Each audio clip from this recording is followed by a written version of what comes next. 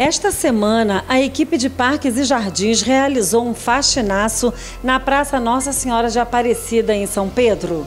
Capina, roçada, poda e varrição foram as ações executadas para deixar o espaço mais agradável aos moradores. Outra turma da Secretaria de Serviços Públicos trabalhou na limpeza da rua Oliveira Lima, na Fazendinha. Em Araras, um bueiro em frente à Escola Municipal Helena de Paula Tavares precisou de reparos. Em Agriões, as ruas Carmela Dutra, Magé e Coronel Antônio Santiago receberam melhorias no calçamento com a operação Tapa Buracos, que também atendeu a principal via de Fátima, a Tietê.